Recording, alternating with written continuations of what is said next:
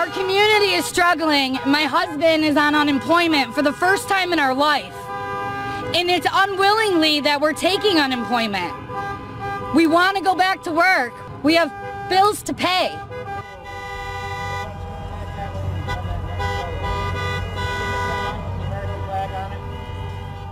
How your field trip to the Capitol was canceled you anyways.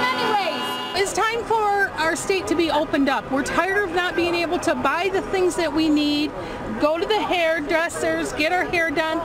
It's time to open up.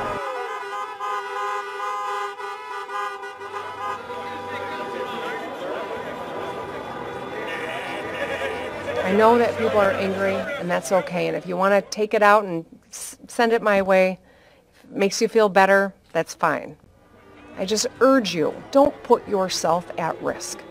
You know, when people are flying the Confederate flag and untold numbers who gassed up on the way here, we know that this rally endangered people.